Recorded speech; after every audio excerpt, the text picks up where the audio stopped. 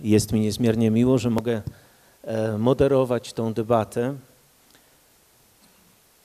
Może od razu, proszę Państwa, rozpoczniemy od takiego bardzo szerokiego spojrzenia.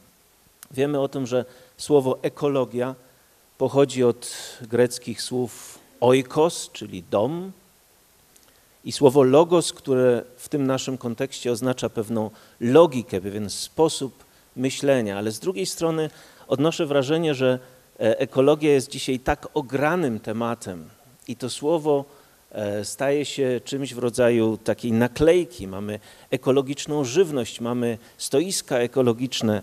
W zasadzie, w zasadzie to słowo jest zdewalu zdewaluowane, jak e, sądzę, albo jak mi się wydaje. Może pierwsze takie pytanie do e, pozostałych panelistów. Pan mecenas e, miał już swoją wypowiedź. Czy dla Państwa ekologia jako pojęcie, jako słowo klucz jest istotna i ważna? Może rozpoczniemy od Pana dyrektora. Bardzo proszę.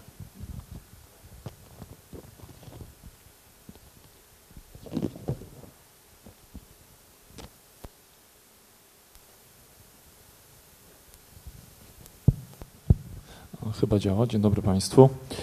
E, szanowni Państwo, ekologia jest, e, ekologia jest encyklopedyczne znaczenie ekologii jest takie, jak tutaj przedstawił ksiądz moderator, jednak tutaj z punktu widzenia lasów i leśnictwa jest to E, ja to ekologię rozumiem jako e, trwałe czy zrównoważone, zrównoważony rozwój e, w leśnictwie, to znaczy wielofunkcyjne, trwale, wielofunkcyjnie trwale zrównoważoną gospodarkę leśną, którą prowadzimy od wielu lat, blisko 100 lat.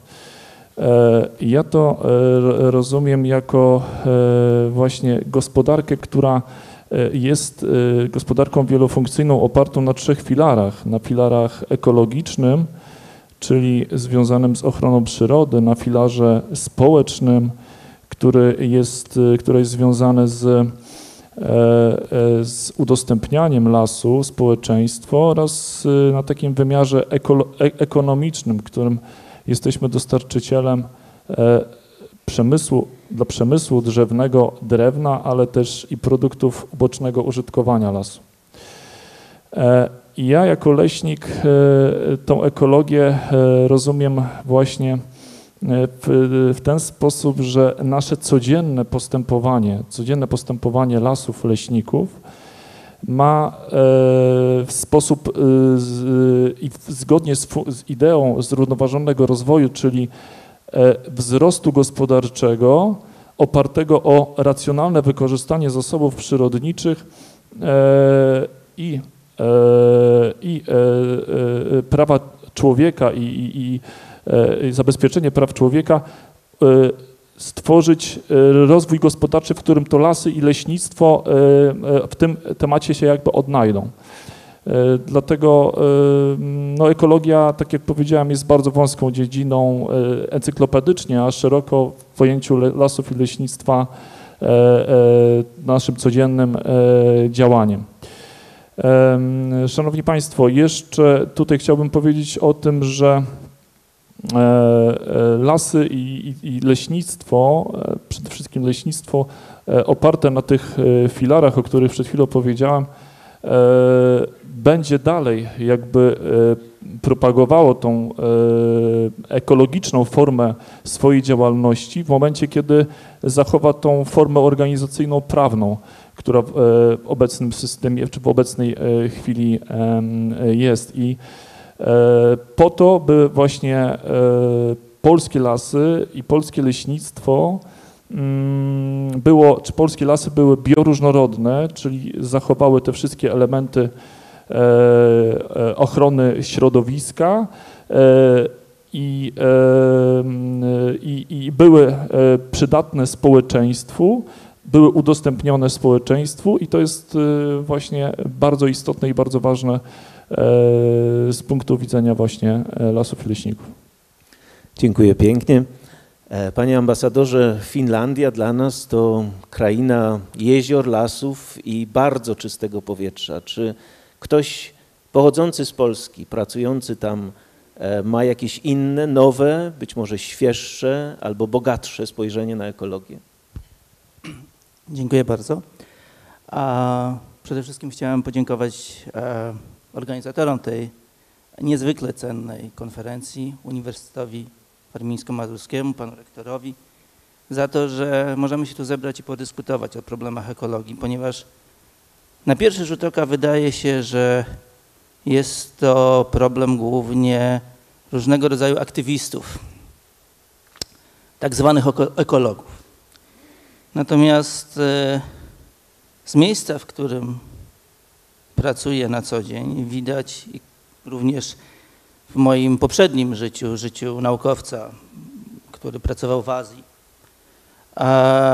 widać jak ważne dla przyszłości i w przyszłości będą problemy ekologiczne. Jak istotne są już dzisiaj takie kwestie jak spory polityczne pomiędzy państwami, jeżeli chodzi o zapewnienie sobie dostępu do czystej wody. Jak ważne są w debatach politycznych w Europie takie kwestie jak ograniczenie emisji dwutlenku węgla, gazów cieplarnianych. Zostałem zapytany o Finlandię. Pozwoliłem sobie, pozwolę sobie skorzystać z notatek, które zrobiłem bodajże w ostatni czwartek. E, szefowie misji dyplomatycznych akredytowanych w Helsinkach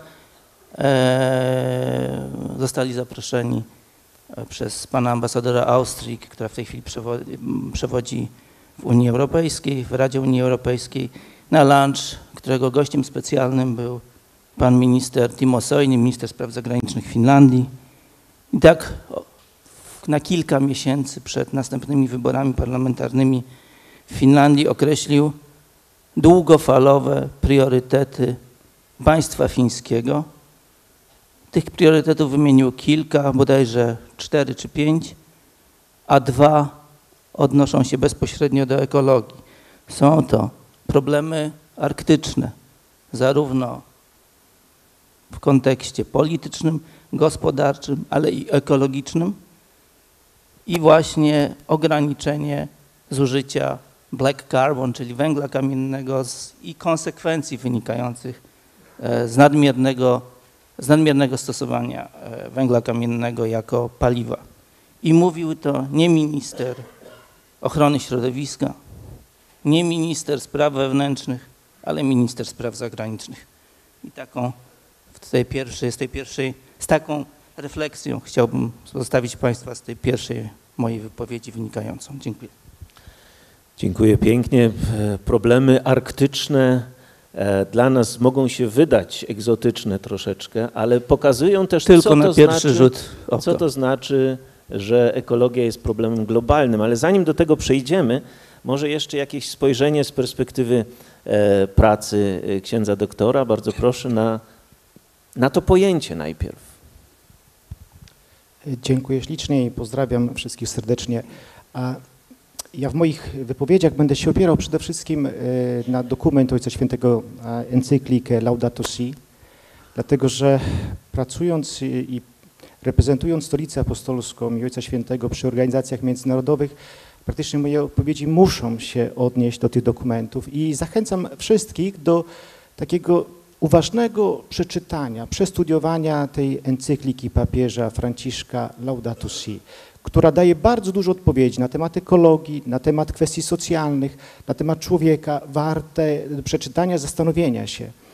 I, i w tym, y, tej encyklice papież przede wszystkim y, zachęca właśnie do tego, co było wspomniane przez y, pana premiera, do dyskusji, dyskusji bardzo szerokiej, różnych środowisk, do poważnej debaty naukowej do tego, abyśmy byli zjednoczeni, zjednoczeni nie tylko w sytuacji polskiej, ale przede wszystkim też takiej światowej, żebyśmy potrafili właściwie odpowiedzieć na potrzeby, z którymi się teraz spotykamy.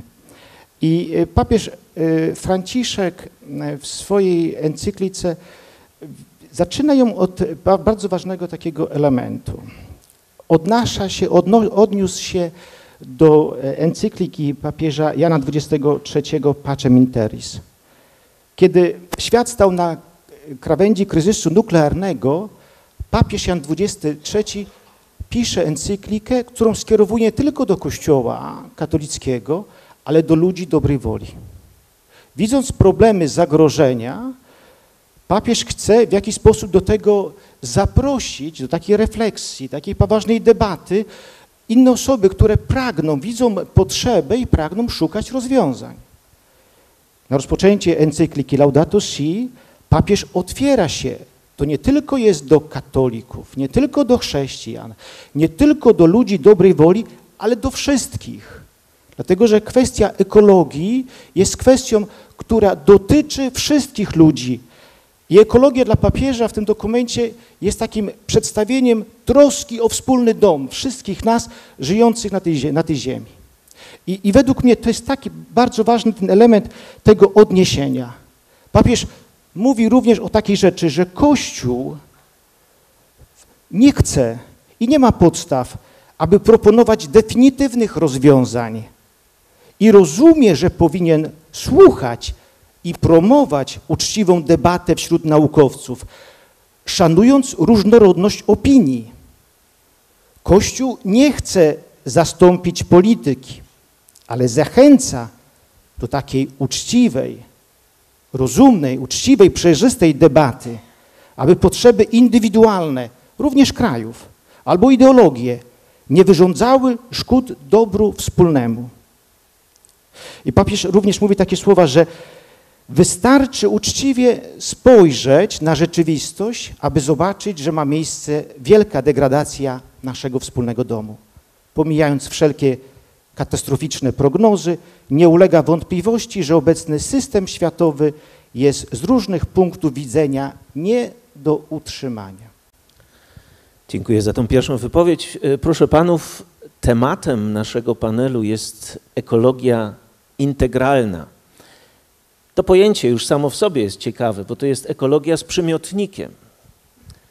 Można by zapytać, czy, czy jest ten przymiotnik potrzebny i po co w ogóle mówimy o, o ekologii integralnej. E, W debacie ekologicznej funkcjonuje takie pojęcie retyniczność, od słowa rete, czyli sieć. Tak jak oka sieci są powiązane ze sobą, tak różne czynniki są również powiązane ze sobą. Chciałem Państwa zapytać o taką pierwszą refleksję na temat tego pojęcia ekologia integralna. Czy ono jest udziwnieniem pojęcia ekologii, czy ono jest potrzebne? Może rozpocznijmy tym razem od pana mecenasa. Bardzo proszę. Tak. Ja bym powiedział w ten sposób, że yy, jeszcze nawiązując trochę do tego, o czym tutaj mm, przed chwilą mówiliśmy, jakie jest, bo, bo ja myślę, że y, tak jak ksiądz na początku zauważył, y, ekologia po pierwsze stała się pojęciem no już lekko, znaczy poddanym takiej inflacji bo, mm, pojęcia, ponieważ y, nie, to nie tylko są stoiska z żywnością ekologiczną, ale to, że to jest też ekogroszek i to, to eko nie jest od ekologicznego, tylko od ekonomicznego groszku, co, że tak powiem, należy się domyślić albo dowiedzieć, bo to nie jest ten najlepszy węgiel, tylko to jest ten najtańszy. Ale funkcjonuje jako nazwa bardzo chwytliwa Tak i jako coś lepszego. Więc y, z dobrych, znaczy na, na, dobrych na, na dobrych intuicjach pojęciowych oparte, używane po to, żeby przykryć y, istotę tego, mm, czym jest naprawdę. Ja bym powiedział w ten sposób, my, myślę, że w, ta, ta historia mm, czystego powietrza, no, która jest mi bliska ze względu na to, czym się zajmuję, to, to, to dla mnie jest taki dobry przyczynek do popatrzenia na temat tego, jak w Polsce, można powiedzieć, obywatele upomnieli się o politykę ekologiczną państwa, bo myślę, że my na poziomie rządowym, nie wiem, no pewnie podpisujemy wszystkie deklaracje, które trzeba podpisać, zajmujemy poprawne stanowiska na wszystkich konferencjach międzynarodowych, takie jakie należy podpisać.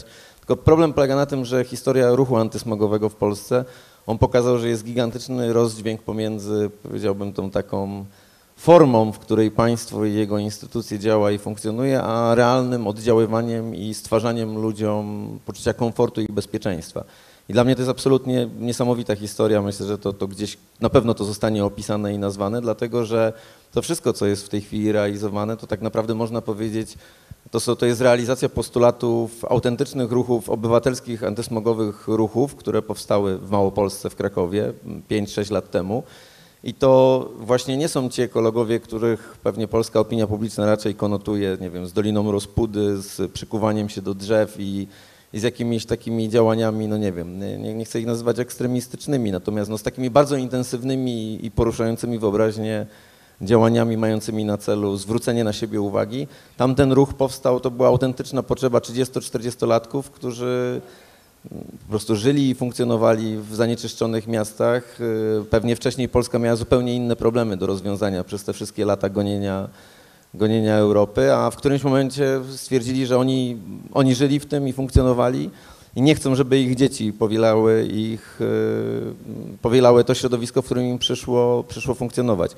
Więc dla mnie ta, tak, ta, ta integralność jest bardzo wielowymiarowa w tym przypadku i, i mm, tak, więc myślę, że ekonomia integra, e, ekologia integralna podoba mi się, bo ona tak jakby pojęcie ekologii uległo pewnej inflacji, natomiast ekologia integralna daje takie poczucie tego, że mówimy o czymś poważnym i bardzo wielopoziomowym. Może wyeksplorujmy jeszcze, jeszcze to pojęcie bardziej. Może pan dyrektor, bardzo proszę, dopowiedź do tego pojęcia integralności ekologii. Ja tutaj uważam, że blisko, bliskie mojemu e, sercu są tutaj te definicja, czy moje może em, w jakiś sposób wypowiedź w encyklice Franciszka, papieża Franciszka, tak, gdzie ekologia integralna jest, jest zbiorem jakby dwóch rzeczy, e, takiej tej duchowości człowieka i jego, e, jego jakby nawrócenia, tak, e, w kierunku ekologii, E, I drugą rzeczą jest ta, e, aha, i te nawrócenie jakby mm, powinno mieć miejsce i nauczanie przez tych nauczycieli wiary, tak, jak to ładnie tam zostało określone. E, A drugim takim aspektem jest ta nauka, e, typowo nauka ta przyrodnicza, eduk, edukacja e, ekologiczna, która jest niezmiernie ważna. My tutaj z mojego podwórka mogę powiedzieć, że zajmujemy się tą, tą drugą sferą, tak, tej edukacji takiej ekologicznej dla dzieci, młodzieży, dla dorosłych również. Mamy w tym wymiarze niemałe sukcesy. Mamy bogatą bazę infrastrukturalną, gdzie mm, chętnie odwiedzają e, tą bazę właśnie te osoby, o których mówiłem przed chwilą. E, Staramy się edukować e, poprzez właśnie tą infrastrukturę, czy, czy elementy tej infrastruktury i kadrą wykształconą, jaką nie, niewątpliwie są e, polscy leśnicy, właśnie edukować e, ekologicznie e, i młodzież polską, e, i osoby dorosłe, bo e, również e, zauważyłem, że jest problem z tym, żeby nawet osoba dorosła odróżniła sarnę od jelenia. Niby to proste e, e, polskie zwierzę, tak, a żyrafy od, e, od zebry jest jakby łatwiej odróżnić, tak, bo, bo gdzieś tam w telewizji o tym mm, na kanałach tematycznych się mówi, a, a, a sarny od jelenia już, już mniej. Dlatego e, ja to rozumiem właśnie w, w tych dwóch właśnie aspektach, tych e, e, takiej właśnie duchowej, tak, i, i właśnie tej takiej przyrodniczej, żywej edukacji, którą właśnie prowadzimy. Dziękuję pięknie, panie ambasadorze. Ponownie dziękuję bardzo. E, wydaje mi się, że może tak, odpowiem trochę przekornie na pytanie o e, ekologię integralną. Państwo na tej sali doskonale wiedzą, że jak piszemy granty, to musimy mieć, używać słowa klucz. Aktualnie modnych. Jeżeli jednym z takich słów kluczy jest ekologia integralna, integ- e- ekologia retyniczna, czy jakakolwiek inna ekologia. Dobrze, używajmy tego po to, żeby uzyskać środki na badania, na realizację projektów, na poprawę sytuacji. Po to, tak jak mówił pan minister Woźny, żeby odświeżyć nieco dane określenie, żeby po raz kolejny znalazło ono em, właściwe miejsce w przestrzeni publicznej. Nazwijmy ekologię jakkolwiek. Ekologia jest po prostu ważna. Natomiast zaprosili mnie też Państwo po to tutaj, żebym co nieco powiedział o, o Finlandii. Ja bym powiedział, że tutaj w tym, w tym, em, e,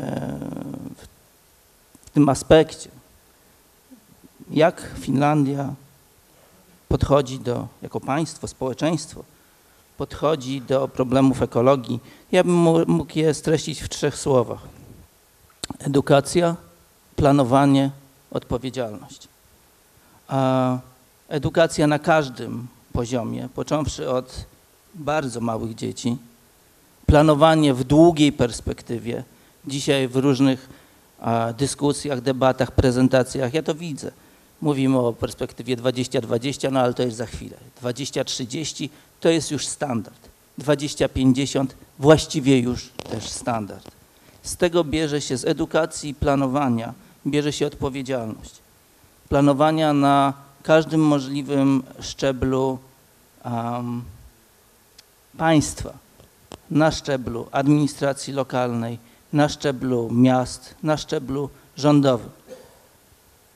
I następna sprawa to jest problem em, patrzenia na problemy ekologiczne w perspektywie nieco dłuższej niż perspektywa następnych wyborów takich czy innych. To są zbyt poważne sprawy, e, żeby patrzeć na problemy związane z ochroną środowiska, z ekologią, tylko w perspektywie 3-4 lat.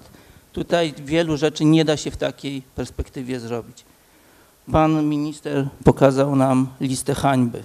33 polskie miasta na liście 50 najbardziej, miast z najbardziej zanieczyszczonym powietrzem w Europie. Siedziałem tutaj i sobie myślałem o tym, a gdyby to zrobić w ten sposób? Musimy tę listę zmniejszyć do zera, pokazać Europie, że mieliśmy z tym problem, ale już nie mamy.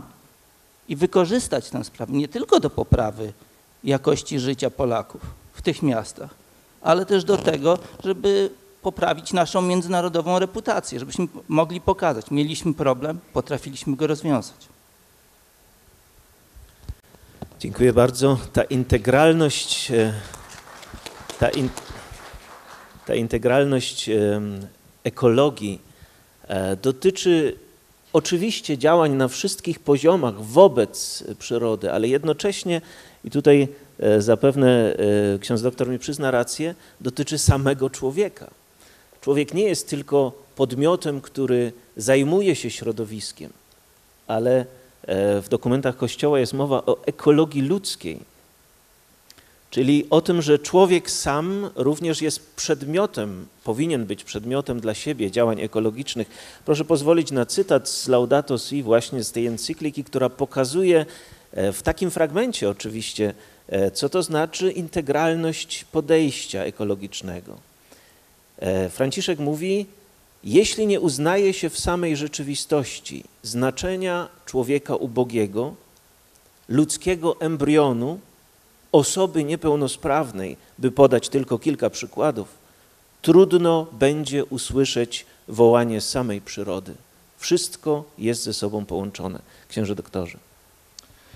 Znaczy myślę, że pierwszy taki y, aspekt bardzo ważny, istotny, ekologia nie może nie być integralną.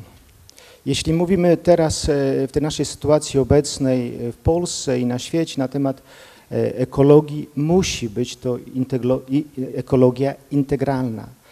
To znaczy, tak jak już y, ksiądz wspomniał wcześniej i to, co mówi też Ojciec Święty, że w kwestiach, o których jest w encyklice, y, papież bardzo mocno podkreśla, że wszystko ze sobą jest połączone i że autentyczna troska o nasze życie i naszą relację z, z naturą jest nierozerwalnie z, związana z wymiarem sprawiedliwości i braterstwa oraz wierności wobec innych. Kwestia ekologii integralnej, czy tej potrzeby integralności jest jak gdyby odpowiedzią na podziały, które są i my dokładnie wiemy o pewnych sytuacjach podejścia do ekologii, widzenia czy rozwiązywania problemów e, ekologicznych, które będą związane z jakimiś pewnymi regionami, wizją rozwiązania pewnych problemów, które będą odnoszone do jakiegoś kraju, regionu, e, kontynentu. E, W encyklice Laudato Si jest to naprawdę bardzo szerokie pojęcie i, i myślę, że warte zastanowienia. Ja będąc też e, przedstawicielem przy organizacjach międzynarodowych, e, pracowałem w Nowym Jorku, e, kiedy było, były negocjowanie na temat tych celów zrównoważonego rozwoju. I te początki negocjowania pokazywały różnice widzenia świata z Afryki ludzi, jak do tego podchodzili, jak widzieli potrzebę mówienia na temat zrównoważonego rozwoju tego powiedzmy różnych kontynentów, różnych perspektyw. E, Teraz ostatnio, kilka dni temu, sekretarz generalny e, Narodów Zjednoczonych Antonio Guterres w swoim wystąpieniu na rozpoczęcie 73. sesji Zgromadzenia Ogólnego Narodów Zjednoczonych powiedział takie słowa, że żyjemy teraz obecnie w świecie, który jest podzielony, fragmentaryczny i jest polaryzacja w świecie. I potrzeba Organizacji Narodów Zjednoczonych, która by pokazała możliwość współpracy międzynarodowej do rozwiązywania problemów. I jeśli mówię na temat ekologii, e, ksiądz wspomniał na, na temat ekologii ludzkiej. Oczywiście to jest to, co też e, wspominał e, ksiądz arcybiskup na temat tej pierwszej takiego wystąpienia stolicy apostolskiej na konferencji, to była ta deklaracja sztokholmska, sztokholmska w 72 roku. E, W trakcie tej deklaracji e, wystosowano bardzo ważne takie, to ta deklaracja mówiła o zobowiązaniu państw, tych, którzy zanieczyszczają środowisko, do ponoszenia wszelkich wynikających z tego kosztów, obowiązków, ponoszenia wynikających z tego kosztów, o obowiązku dokonania ocenu wpływów wszelkich prac lub projektów na środowisko.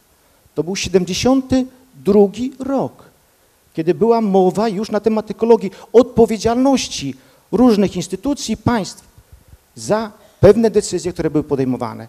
Ale potrzeba było czekać do 92 roku, kiedy jest Światowa Konferencja o Ziemi, kiedy zacznie się wreszcie mówić na temat człowieka że osoba ludzka jest i powinna być w centrum zainteresowania w procesie zrównoważonego rozwoju.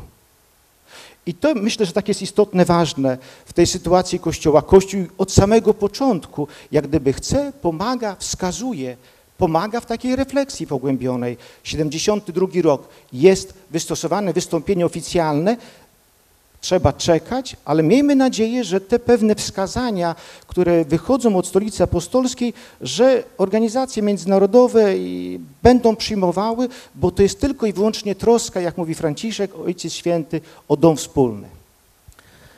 Tak, mówimy o człowieku jako o podmiocie, jako o przedmiocie ekologii, a jednocześnie jako o podmiocie, który decyduje o wielu sprawach i nie wiem, czy panowie się ze mną zgodzą, ale ja, ja widzę tutaj pewien paradoks. Z jednej strony em, mamy ogromny impuls i potrzebę rozwoju, szczególnie tych krajów, takich jak nasz, które, e, które aspirują do roli, e, do roli tygrysów e, gospodarczych albo jeszcze biedniejszych krajów które chcą się rozwijać i w zasadzie mogą się rozwijać tylko w jednym kierunku jakiegoś, jakiegoś rozwoju technicznego. Żeby mogły się rozwijać, e, wprowadzają w umysły ludzi albo w ogóle całe społeczeństwa, tworzą taki mechanizm pewnego kompulsywnego konsumpcjonizmu, powiedziałbym.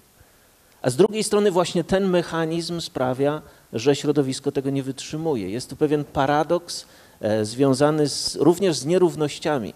E, Istnieje pewien postulat, e, który mówi, że kraje, które zbudowały swój gospodarczy dobrobyt na spalaniu węgla w przeszłości, a więc są e, głównie odpowiedzialne za stan powietrza, powinny ponosić też większe koszty. Czy coś takiego można by odnieść również lokalnie do, do różnych regionów naszego kraju? Jak e, Państwo widzą, e, pan, pan, panowie widzą tą kwestię czegoś, co mo, moglibyśmy określić jako dług ekologiczny, jako problem społeczny rzeczywiście? Ja pochodzę ze Śląska, z Czarnego Śląska i wiem, co to znaczy e, zadymienie, a jednocześnie wiem, że nie wystarczy powiedzieć ludziom, ocieplimy wam domy, e, wymienimy wam kotły, ludzie muszą jeszcze płacić za opał. Bardzo proszę, może e, pana mecenasa o komentarz. No tak, to e, nie wiedziałem, że ksiądz pochodzi ze Śląska, to rzeczywiście to e, zupełnie inna perspektywa jeszcze. Na, na Śląsku e, z tej listy Świato, Światowej Organizacji Zdrowia, z tych 33 miast, 14 z nich to są, to 14 z nich ma, ma Śląsk. Między innymi Rybnik, gdzie Rybnik. chodziłem do szkoły. No okej, no to ja w Rybniku miałem okazję otwierać, miałem okazję w imieniu pana premiera m, uczestniczyć chyba w najsmutniejszej, jednej z najsmutniejszych rzeczy, w jakich uczestniczyłem w życiu. To była taka wystawa Dzieci malują smog dla premiera. To było w maju czy w czerwcu tego roku.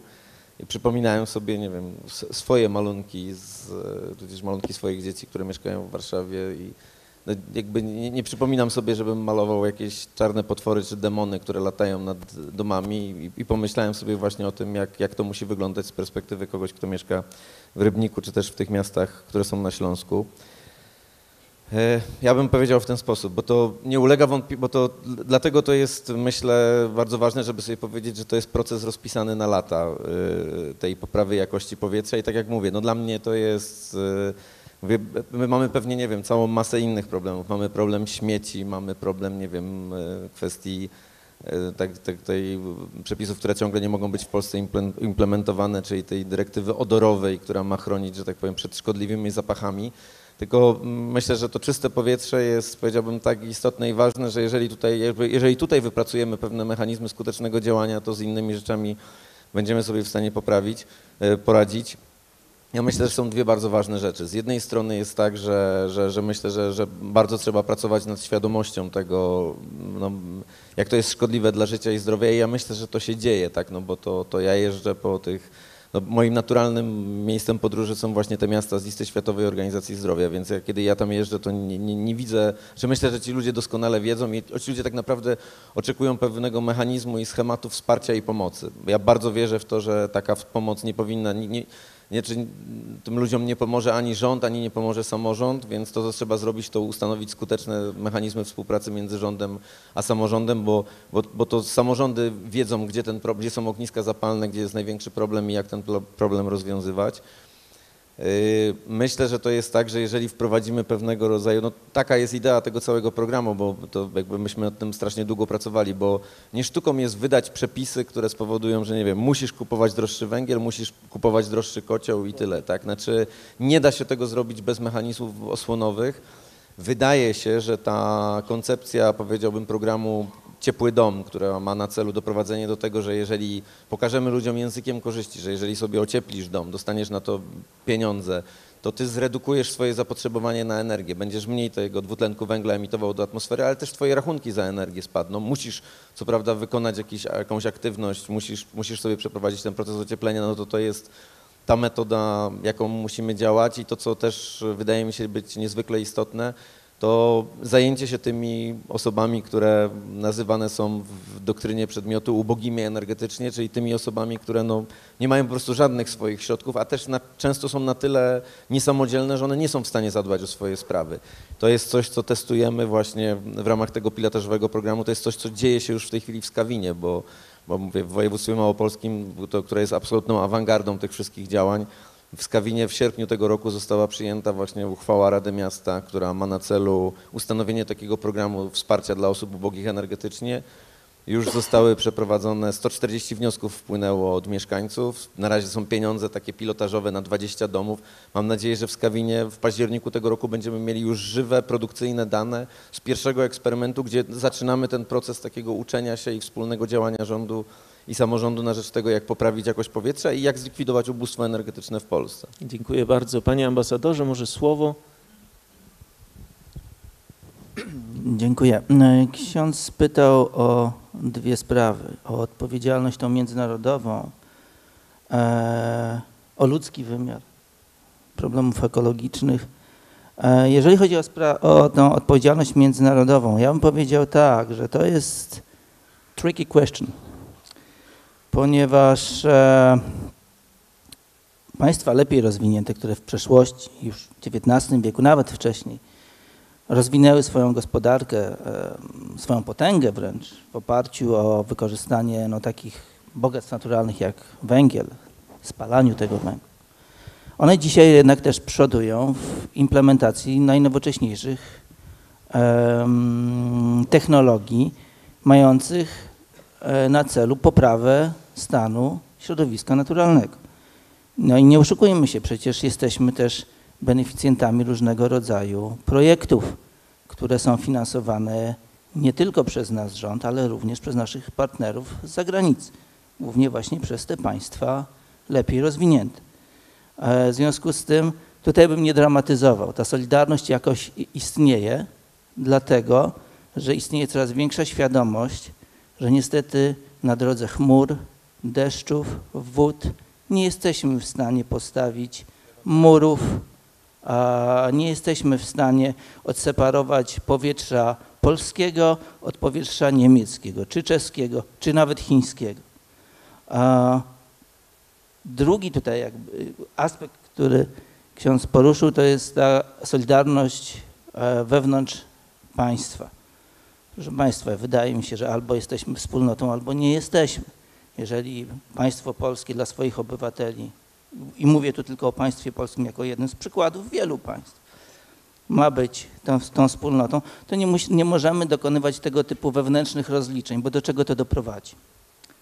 E, natomiast natomiast e, e, musimy po prostu budować projekty, plany e, obrębie obejmujące cały nasz kraj, ale też przekraczające granice, bo samodzielnie nie jesteśmy wielu rzeczy w stanie wykonać, a poza tym są państwa e, w gorszym jeszcze położeniu niż Polska i pod względem finansowym, i pod względem tej właśnie ochrony środowiska. Musimy tutaj wykazać, wykazać się nieco szerszym spojrzeniem. E, Jeśli mogę, to jeszcze o tym ludzkim wymiarze. Może przesuniemy to do Dobrze. następnego pytania. Bardzo proszę, może panie dyrektorze o słowo. E, Ja tutaj z, chciałbym zabrać głos e, z punktu widzenia lasów i leśnictwa polskiego, bo e, mówiliśmy tutaj o odpowiedzialności. Tak? Myślę, że polskie leśnictwo jest, są gwarantem tej społecznej odpowiedzialności polskiego leś, leśnictwa, czyli leśnicy są takim gwarantem. E, Dlaczego? Szanowni Państwo, e, tuż po wojnie lesistość Polski wynosiła około 20%. Obecnie lesistość y, jest, wynosi około 30%. Więc ta progresja, jeżeli chodzi o zasoby polskich lasów, jest, jest wzrastająca, więc mogę, mogę przyjąć, że tym gwarantem jesteśmy. Do, do, do tego dochodzi ta piękna bioróżnorodność, która e, znajduje się w polskich lasach.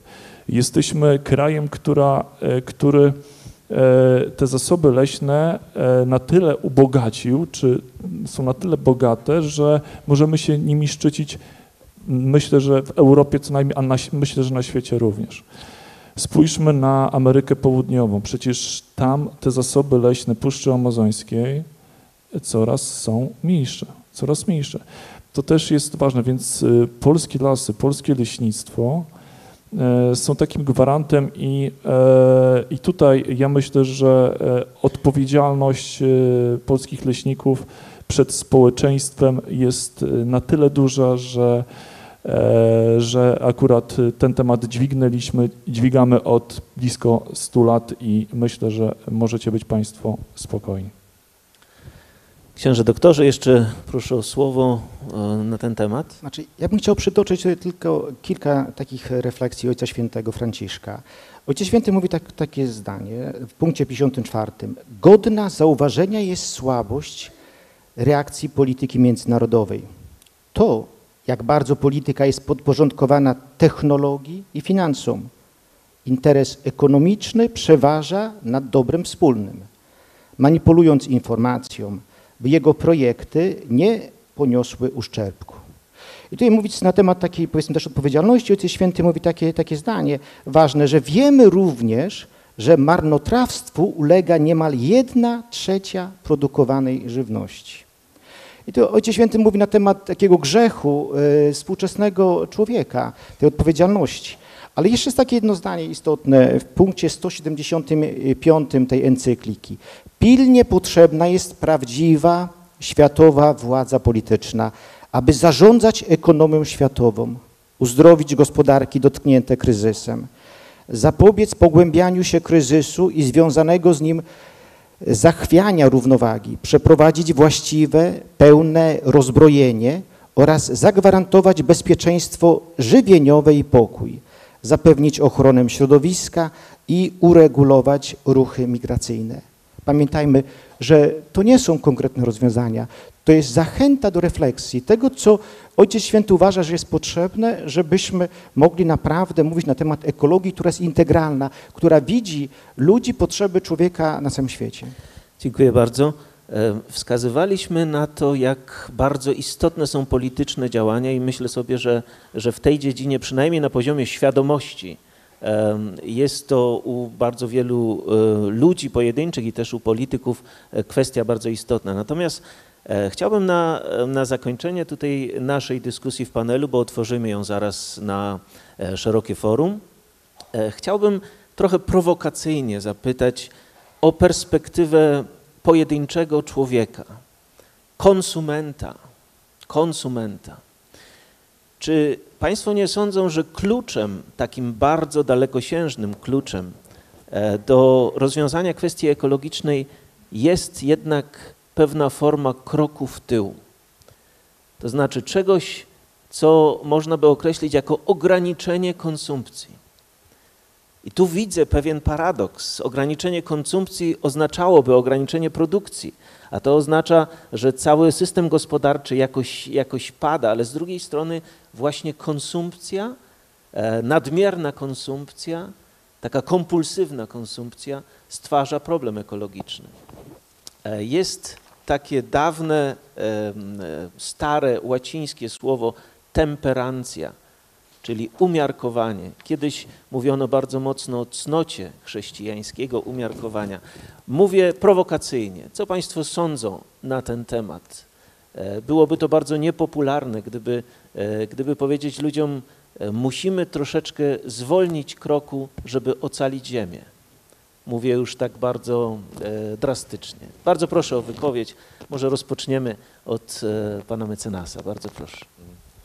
Ja myślę, że ja nie widzę niczego zdrożnego w tym. Znaczy, mi się wydaje, że ważne jest to, żeby ludziom tłumaczyć, jakie są konsekwencje ich konsumpcji. I to jest, ponieważ myślę, że ludzie bardzo często nie mają świadomości tego, co robią. Po prostu nikt im tego nie mówi, nie tłumaczy, nie wiem. Nie, tu- nikt im, mało kto im tłumaczy, co, co się dzieje z ich organizmem, kiedy spożywają za dużo cukru. Ktoś im może nie tłumaczyć, co się dzieje, jeżeli kupują. Ktoś im może na przykład nie tłumaczyć tego, że lepiej kupić y, droższy w nominale, bardziej kaloryczny węgiel niż ten najgorszy węgiel, bo z punktu widzenia jego domowego portfela to może być korzystniejsze, żeby spalić coś, co jest wyżej kaloryczne. Myślę, że też bardzo mało ludzie wiedzą na przykład na temat, nie wiem, szkodliwości używania toreb foliowych i tak dalej, więc jakby ja myślę, że to jest trochę tak, że, że tak, no nie ma się co oszukiwać. W jakimś sensie mm, PRL był rajem gospodarki obiegu zamkniętego, tak? Skupy butelek, makulatura, złom i tak dalej. Praktycznie, nie wiem, przewijanie silników i tak dalej. Jak się tak nad tym głębiej zastanowić, to tam wszystko, tam nic się nie marnowało prawie, wszystko było reużywane. Potem nastały nowe czasy i jakby przyzwyczailiśmy się do tego, że, że konsumpcja jest praktycznie nieograniczona.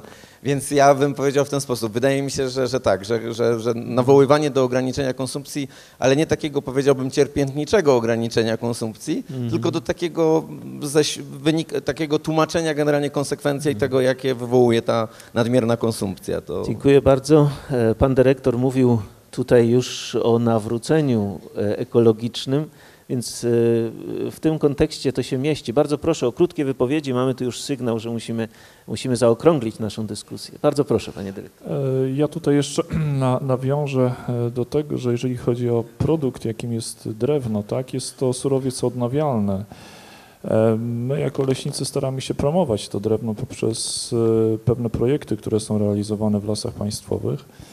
E, A dlatego, że e, raz, że drewno jest magazynem e, węgla, tak, a, a, a tutaj protokół z Kioto ob- obliguje nas do tego, żebyśmy ograniczali emisję gazów cieplarnianych, w tym dwutlenku węgla do atmosfery, więc kumulacja takiego węgla w produktach drewnianych, nie spalanych, tylko wykorzystywanych czy poddawanych recyklingowi tych produktów drewnianych jest bardzo ważna i my tutaj staramy się e, promować, promować budownictwo drewniane przede wszystkim, tak? bo raz, że e, jest to aspekt, który jest, został ujęty również w strategii odpowiedzialności, odpowiedzialności, odpowiedzialnego rozwoju e, premiera Morawieckiego, a dwa, że, że to, że to jest właśnie mm, taki produkt, który jest bardzo popularny, jest bardzo no taki, e, który właśnie, tak jak powiedziałem, można, można, można odnawiać, e, więc staramy się, staramy się e, go promować. Proszę Dziękuję. bardzo. Panie ambasadorze. Również postaram się krótko. E, Jeżeli chodzi o stosunek nas do produkcji, do nadmiernej konsumpcji, ale i właśnie i do człowieka, o czym chciałem w dwóch słowach. Fakt, że tutaj keynote speakerem nie był leśnik z całym szacunkiem, nie rybak, ale lekarz. To o czym świadczy? O czym świadczy fakt, że obok pana profesora siedzi tutaj pani Ewa Błaszczyk, reprezentująca swoją, swoją fundację. Natomiast mówiąc o, o sprawach konsumpcji, posłużę się znowu przykładem Finlandii. W tym kraju w tej chwili dla jego, em, e, dla wzrostu e, GDP najważniejsza już nie jest produkcja, najważniejsze są usługi. Produkcja jest coraz mniej e, liczącym się segmentem e, gospodarki. No ale mówimy o Finlandii, gdzie świadomość ekologiczna jest bardzo wysoka, gdzie, gdzie e, to kształcenie ekologiczne rozpoczyna się już bardzo wcześnie, na etapie właściwie już przedprzedszkolnym nawet. Ksiądz tutaj mówił o, o braku odpowiedzialności polityków. Tak, no może nie braku odpowiedzialności, ale o tym, że nie widzą oni jeszcze pewnych problemów. E, No ja to tak przynajmniej zrozumiałem. Jeżeli mogę to skomentować, ja widzę, że oni widzą te problemy coraz bardziej, ale z bardzo prostej przyczyny. Nie dlatego, że, je, że są tacy dobrzy, bo człowiek jest jaki jest, tylko dlatego, że to się po prostu coraz bardziej opłaca. I dlatego problemy ekologiczne w polityce będą, są widoczne już bardzo silnie, a będą widoczne jeszcze bardziej silnie. I w tym należy upatrywać pewnej, e, pewnego pozytywnego elementu na przyszłość. Miejmy nadzieję, że, że będzie, będą i politycy, i zwykli ludzie pamiętać o środowisku, w jakim żyją, bo bez tego środowiska nie będą po prostu żyć. Dziękuję bardzo, księże doktorze. No, tylko krótkie takie sprostowanie. Taka Tam jest y, kwestia przede wszystkim tego, że nie można na wszystko się patrzeć w kategoriach zysku. A także trzeba takiej rozwagi. Y, Odnośnie y, powiedzmy kwestia, ale Mhm. Ojciec Święty w punkcie 27 powiedział takie zdanie, że nie jest możliwe utrzymanie obecnego poziomu konsumpcji w krajach najbardziej rozwiniętych i bogatszych warstwach społeczeństwa. Kiedy było negocjowanie tych celów zrównoważonego rozwoju, pierwszym zasadniczym punktem było to, że nie ma możliwości, żeby rozwój był w nieskończoność.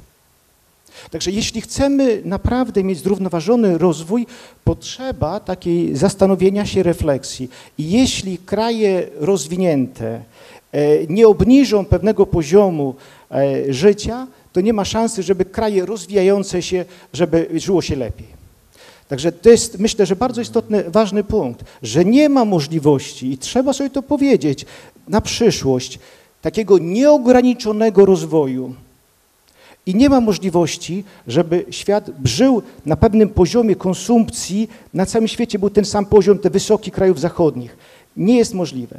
Także to jest kwestia takiej, takiej rozwagi, refleksji i tego powiedzmy zastanowienia się, że powiedzmy pomocy również e, krajom rozwijającym się i takiej szansy, żeby, żeby mogło się ludziom też lepiej żyć godnie i żeby mieli chleb. Dziękuję. Myślę, że- To, to jest teza, która jest na tyle kontrowersyjna, że mogłaby posłużyć e, na osobny e, temat osobnego panelu. Natomiast mamy jeszcze niecały kwadrans do tego, żeby, żeby otworzyć dyskusję na Państwa z sali. Mamy dwa mikrofony na sali, o ile, o ile dobrze wiem.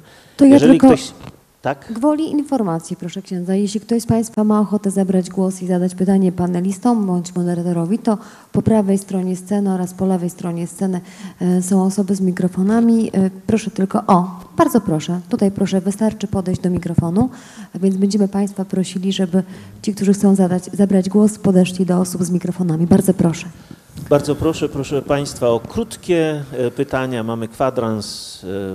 Bardzo proszę. Proszę się przedstawić. Zdzisław Kieliszek, Wydział Teologii UWM w Olsztynie. Y, Ekologia integralna, y, ekologia możliwie najbardziej szeroko rozumiana. Y, I moje pytanie tutaj do panelistów no, padnie na koniec, jak się Państwo do tego odniosą, ale tutaj pozwolę sobie na pewien komentarz. E, Bardzo często e, padało tutaj sformułowanie, że papież Franciszek zwraca uwagę na ekologię integralną, e, gdzie ważnym elementem jest ekologia ludzka. I zabrakło mi, e, i tego też dotyczy moje między innymi pytanie, zabrakło mi rozwinięcia e, tego tematu, co to znaczy ekologia ludzka. E, Bo gdybyśmy sięgnęli na przykład do encykliki Jana Pawła II Centesimus Annus numer 39, to tam czytamy, że ekologia ludzka, jej istotnym elementem jest troska o rodzinę e, i rodzinę nierozumianą byle jak, tak jak to dzisiaj rozumiemy, e, często się rozumie, ale rodzinę rozumianą jako związek jednego mężczyzny i jednej kobiety że właśnie w takim środowisku, tak rozumianej ekologii ludzkiej, człowiek prawidłowo się rozwija. E, I powiem, e, że w momencie, kiedy na przykład zwraca się uwagę na to, że Finlandia jest krajem, e, który przoduje w ekologii, to prawda, ale ekologii rozumianej tylko na poziomie, na poziomie troski o środowisko naturalne, przyrodę. Natomiast o tą ekologię ludzką już nie. Dlaczego? Bo od 1 marca roku tyś- 2017 e, w Finlandii e, jest możliwość zawierania związków jednopłciowych. Co więcej, e, jest możliwość adoptowania dzieci e, przez te związki. Co więcej, e, ten projekt e, przeszedł jako pierwszy w Finlandii e, na drodze ustawodawstwa obywatelskiego. E, I tutaj e, moje, już zmierzam do pytania. E, Jan Paweł II w roku 99, e, gdy opuszczał e, naszą ojczyznę, prosił e, o to, żeby nie dać, e, nie dać e, zniszczyć e, Polski ekologicznie, rozumianej tutaj właśnie ekologii e, jako ekologia integralna, czyli ta wielopłaszczyznowa i też rozumiana tutaj tak, jak ja to e, mówiłem. I jakby panowie się do tego e, no, krótko oczywiście odnieśli.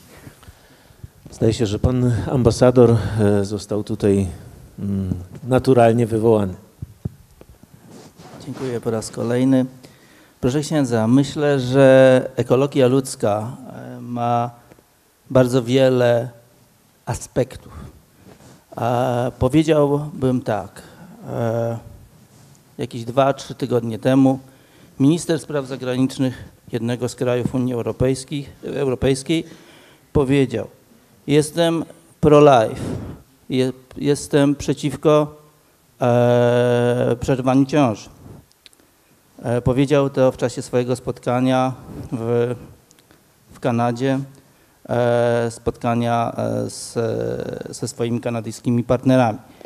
Wypowiedź ta wzbudziła szereg kontrowersji w jego własnym kraju. Co więcej, w czasie bardzo niedawnej, w zeszłym tygodniu wypowiadał się, komentując tamtą sprawę w ten oto sposób. Jestem praktykującym katolikiem, mam prawo do wyrażenia swojej opinii, a parlament może zrobić z tym, co zechce. Tym ministrem był minister spraw zagranicznych Finlandii Timo Soini. Tyle mam w tej sprawie do powiedzenia. Bardzo proszę, tu jeszcze komentarz. Nie wszyscy musimy się na ten temat wypowiadać, ale gdyby była taka wola krótkiej wypowiedzi, to bardzo proszę. Ja tylko przytoczę punkt 155 encykliki. Kiedy Ojciec mówi, Ojciec Święty na temat ekologii, mówi, że niezbędna jest niepotrzebna, niezbę, jest, e, oznacza coś bardzo głębokiego, ludzka ekologia. Niezbędną relację życia człowieka z prawem moralnym, wpisanym w jego naturę. Relację konieczną, by można było stworzyć bardziej godne środowisko. I dalej kontynuuje, Również człowiek ma naturę, którą winien szanować i którą nie może manipulować według swego uznania. Akceptacja własnego ciała jako daru Boga jest niezbędna, by przyjąć cały świat jako dar Ojca i wspólny dom. Monsignor, dziękuję. E, Ja poproszę Państwa o skondensowane zadawanie pytań, mając na uwadze ograniczony czas i bardzo proszę, mam pytanie z drugiej strony sali. Stefan Ewertowski. Wszyscy rozumiemy maksimum treści, minimum słów. To też jest problem ekologii integralnej, prawda? Proszę Państwa, chciałem zgłosić problem tak zwanej aplikacji. Między innymi pan e, premier zachęcał do tego, żeby właśnie z dyskusji, z metadyskusji też przechodzić na pewien program, program działań e, praktycznych. Zgłaszam problem mianowicie, że w wyniku nowoczesnych upraw rolnych przez stosowanie sztucznych nawozów, w wyniku działalności człowieka w rejonie zginęło i świadomie zostało zlikwidowane tysiące zbiorników wodnych. Takie zmiany znacząco wpłynęły na zmianę mikroklimatu do całego regionu. W ten sposób niezwykle przyspieszony wskutek spływu do, do zbiorników e, wody deszczowej wzbogaconej o sztuczne nawody jest przyspieszony proces zarastania i spłycania oczek wodnych.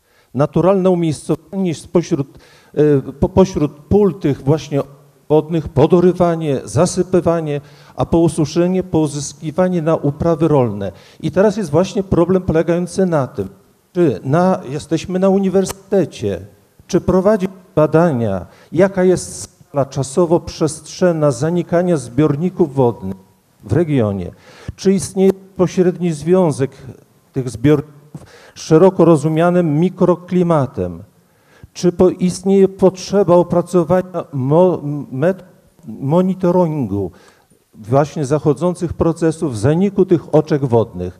Proszę Państwa, byli jak walczono o drzewa, a kto walczy o oczka wodne? Dziękuję bardzo. To pytanie, nie wiem czy do kogoś tak, pan dyrektor, bardzo proszę. Ja, ja, ja spróbuję może. E, To jest e, bulwersujące faktycznie mnie też e, jako przyrodnika, jako wykształconego ekologa bulwersuje, tak? Bo tak naprawdę popatrząc na gałęzie gospodarki, to rolnictwo to jest gałąź gospodarki, która jest najbardziej szkodliwa dla środowiska. E, To nie są moje e, w żadnym wypadku e, jakieś spostrzeżenia. Ja gdzieś nie potrafię w tej chwili powiedzieć, gdzieś w jakimś opracowaniu naukowym były wszystkie gałęzie gospodarki, rolnictwo było na pierwszym miejscu. Ale do czego zmierzam? Do tego, że faktycznie weszliśmy do Unii Europejskiej. Unia Europejska i dopłaty bezpośrednie spowodowały to, że każda miedza, każdy fragment e, zadrzewienia, zakrzaczenia śródpolnego została e, usunięta e, po to, by zwiększyć areał rolny. E, Zbiorniki wodne, znaczy w dalszym etapie teraz ja obserwuję, że wszystkie zbiorniki wodne, które mm, miały swoje położenie gdzieś na dołkach tak, e, śródpolnych, są zasypywane, są uproduktywniane. upro- uproduktywniane. Ja jako przyrodnik jestem też e, leśnik, e, myśliwy, jestem e, tym e, faktem trochę, e, jest mi po prostu przykro, jak na to patrzę, ponieważ e, tutaj e, widzę też jakieś pole do tego, żeby tą sytuację powstrzymać, co najmniej powstrzymać, a, a, a, a naprawiać gdzieś, e, gdzieś w przyszłości. E, To tak, Dziękuję. To tak mojej Dziękuję bardzo. Chyba mamy jeszcze czas na jedno pytanie, bardzo proszę. Tak, mogę? Aleksandra Nalewaj, Wydział Teologii UWM. E, Proszę Państwa, mówimy o dobru wspólnym i o podmiocie ludzkim. W ubiegłym roku Unia Europejska zabroniła wycinania Puszczy Białowieskiej tych drzew zagrożonych kornikiem drukarzem. E, Tam również e, są ludzie, którzy żyją od dziesiątków lat i żyją z puszczy, a jednocześnie Y, Kilka tygodni temu słyszeliśmy znowu w mediach, że w Bawarii lasy zagrożone kornikiem drukarzem są wycinane. Ani Greenpeace, ani Unia Europejska y, nie podejmuje y, tutaj żadnych działań. Profesor Szyszko stracił stanowisko, został okrzyknięty naczelnym szkodnikiem y, Rzeczpospolitej. Bardzo proszę, żeby się panowie do tego odnieśli. Dziękuję. Znowu pan dyrektor, bardzo proszę. E, e, Sama pani mm, chyba widzi, że to temat jest tak naprawdę e, w moim odczuciu no, polityczny, tak, a a nie merytoryczny. E, Ja jako leśnik e, widziałem e, tam pełne uzasadnienie podejmowanych, podejmowanych jako leśnik i przyrodnik, bo to też chcę zaznaczyć, pełne uzasadnienie podejmowanych tam działań. Z tego, co mi wiadomo, z tego, co doczytałem, jeżeli chodzi o uzas- uzasadnienie Trybunału Sprawiedliwości Unii Europejskiej, akurat w tym przypadku mm, w Luksemburgu, on się w Strasburgu mieści, ale e, w Luksemburgu to było rozstrzygane, em, uzasadnienie, uzasadniano akurat e, e, wstrzymaniem e, pewnych działań w Puszczy Białowieskiej tym, że nie zostały spełnione pewne e, działania formalne w plany zadań ochronnych i planach ochronnych dla Puszczy Białowieskiej, dla obszarów Natura 2000, dla Puszczy Białowieskiej. Czyli nie e, merytoryka, nie potrzeby chwili, ale w zapisach planu zadań ochronnych czy planu ochronnych nie wpisano jako zagrożenia kornika drukarza. Czyli zobaczcie panie, panie, e, e, zobaczy Panie, czy to jest jakiś pewien absurd. Tylko tym, że nie wpisano kornika drukarza, e, e, e, zakwestionowano te działania, które, e, które były podejmowane przez e, polskich leśników. I temat dotyczy nie Puszczy Białowieskiej jako parku narodowego, bo park narodowy e, został jakby nienaruszony. Tam żadne działania nie były e, prowadzone, tylko w lasach gospodarczych naokoło Parku Narodowego, czyli w, Pusz- czyli w nadleśnictwach Hajnówka, Browsk i Białowieża. W Dziękuję lasach, bardzo. gdzie tak naprawdę, e, przepraszam najmocniej, gospodarowano od wieków. Dziękuję bardzo. Jeszcze jedno pytanie. pytanie, Tak, chyba jeszcze ostatnie. na jedno pytanie mamy, mamy jedno pytanie, przepraszam bardzo, bardzo E, proszę. Bardzo e, krótko. E, Trzy pytania tylko. Ale, ale jak zlikwidować sprawę segregacji śmieci w Polsce, która jest w bardzo złym stanie? Następnie, jak zlikwidować produkcję napojów w plastikowych opakowaniach, które są na całym świecie? Trzecie pytanie, czy te 30% e, nadmiaru żywności przekazać dla ludzi głodujących? Panie mecenasie, może proszę wybrać jakieś zagadnienie z tych trzech pytań albo ustosunkować się do tego. Bardzo proszę. Ja myślę, że e, trochę szkoda, że minister środowiska nie przyjechał tutaj na tę debatę generalnie, bo mógłby się popisać. Ja mogę tylko powiedzieć, że no, no tak, e, temat, że tak powiem, segregacji śmieci i tego, znaczy to, to jest trochę na takiej zasadzie. Jestem przekonany, że to jest to, to, to o czym pan premier mówił, w, w, czy mówi w kampanii samorządowej, że ta znowu językiem korzyści trzeba przemówić do ludzi i spowodować, że, jeżeli, że musimy pokazać, że w jakiś sposób opłaca się dokonywać selekcji śmieci i też wydaje mi się, że to, co jest bardzo ważne, żeby ludzie jak już dokonają tej selekcji, wykonają ten wysiłek, mieli takie poczucie, że ta selekcja jest kontynuowana na późniejszym etapie i że no nie dochodzi do absurdów typu jakby ich marnotrawienie ich wysiłku poprzez mieszanie tych śmieci z powrotem. Jak to zrobić? E, No, nie, nie, nie, nie podejmuję się, że tak powiem, mówić o tym e, w ciągu dwóch czy trzech minut, które nam tu zostają. No myślę, że to temat na kolejną debatę. Dziękuję bardzo. Chyba e, pan ambasador jeszcze ostatnie, rzeczywiście ostatnie słowo. Wspomniała Pani o, a w swoim pytaniu o butelkach plastikowych. Zastanawiam się, dlaczego w Polsce nie możemy wprowadzić e, skupu butelek w sklepach. W Finlandii pół, półtora litrowa butelka pusta kosztuje 40 centów. Dwa razy bym się zastanowił, zanim bym, zanim bym ją wyrzucił. I to tyle.